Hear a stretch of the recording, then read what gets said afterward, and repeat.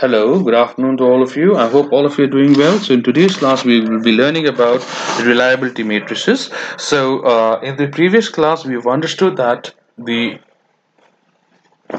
reliability measures that we draw should be observer independent because if the reliability measures are observer dependent then we'll have a perceived reliability uh, which may not be accepted by um, all the users of the software system so it's very important for us to draw or observer independent uh, representations for uh, the the reliability measures. So let us try to understand some of the uh, the reliability matrices. So the first one is called as rate of occurrence of failure. So rate of occurrence of failure basically represents the the frequency of failure occurrences. So here what we do is we uh, tend to observe the behavior that is exhibited by the, exhibited by the software system.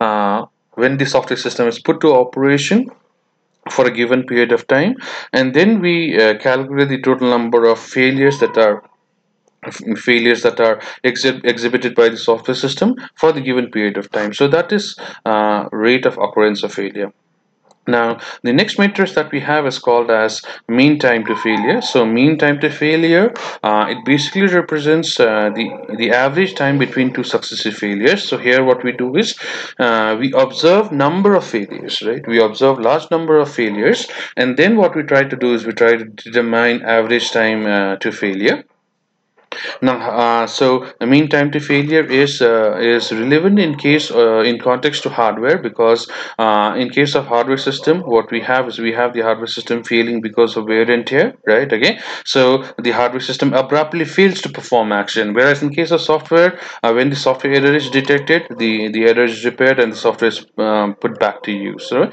so uh, whenever hardware system fails it fails abruptly and whenever soft software system fails it gracefully degrade so that is what we have learned in the previous class. So it's much more relevant in context to hardware right?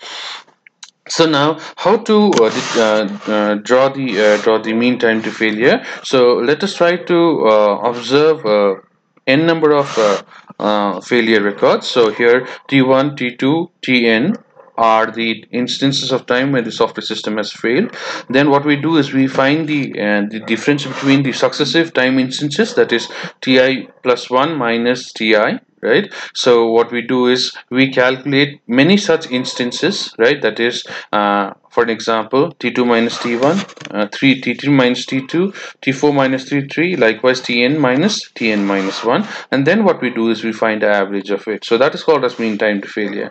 Now mean time to repair. Now mean time to repair is once the failure occurs right?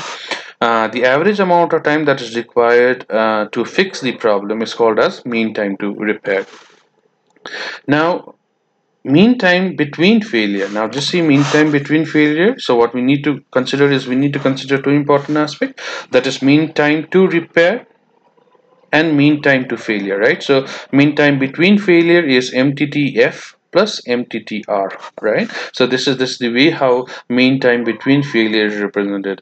Now probability of failure on demand. So probability of failure on demand basically means uh, the likelihood of the system uh, failing to provide the services right? Okay so that is called as uh, probability of failure on demand. So measurement of the likelihood of the system failing uh, to provide the services when requested for. So if uh, probability of failure on demand is 0.001 it means 1 out of 10,000 1000 sorry 1 1 out of 1000 services service requests may result in failure. So that is called as probability of failure on demand. So whenever we are trying to uh, demand the service of particular function uh, and if the if the if the if the system fails to provide that particular function now that is called as probability of failure on demand. Now next measure is called as availability. So availability so how like the system shall be available for use over a given given period of time is called as availability so here the here what we need to do is we need to consider the total number of failure occurring during a particular interval of time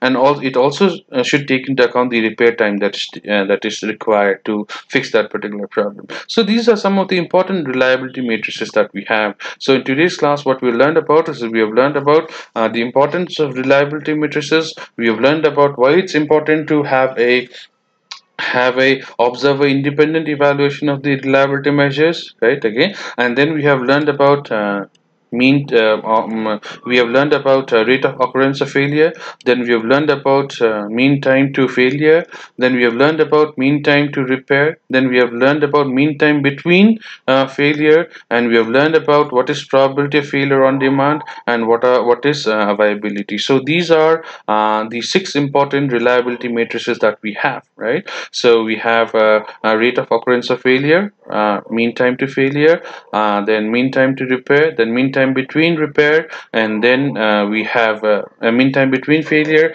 and uh, we have probability of failure on demand and we have availability so these are these are very important reliability matrices that one needs to remember about whenever we talk about reliability of software system. So in this particular chapter if you remember uh, if you remember what we have learned about is we have learned about what is software reliability. We have learned about importance of software reliability right? Uh, we've learned about relation between reliability and error. We have learned about major problems that may be associated with the uh, with uh, reliability measurements right again. And then we have learned about uh, the 90-10 rule. And uh, then uh, we learned about the effect of operational profile on software reliability measurement and then we learned about reliability matrices where we learned about uh, uh, rate of occurrence of failure. We learned about mean time to failure. We learned about mean time to repair. We learned about mean time between failure. And we learned about uh, probability of failure on demand. And we learned about uh, availability so this this uh, ends the the reliability chapter. So thank you very much